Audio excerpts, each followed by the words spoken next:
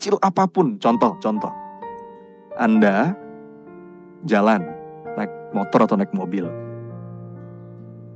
ke suatu tujuan.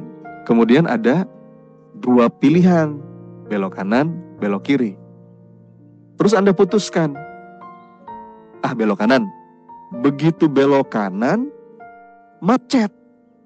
Terus Anda ngomong, eh, seandainya saja tadi saya belok kiri. Nggak boleh itu. Itu nggak boleh. Kata Rasulullah nggak boleh. Yang sudah, sudah. Ya, katakan apa? Qadarullah wa ma sya'afa'al.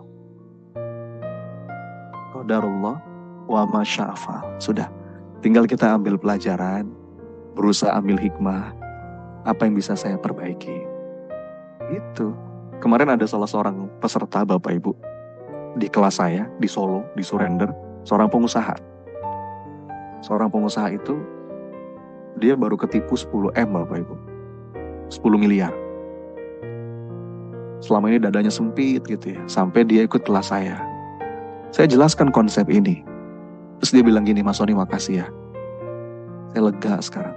Kemarin-kemarin mas, saya masih ngomong seandainya saja. Seandainya saya nggak ketemu sama dia. Seandainya saya nggak percaya sama dia. Seandainya saya nggak transfer uang ke dia. Udah bu, sudah sudah. Yang sudah sudah.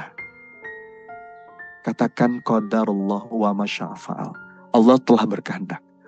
Ini terjadi atas izin Allah, pasti ada hikmahnya dan pasti baik pada akhirnya kalau respon kita tepat.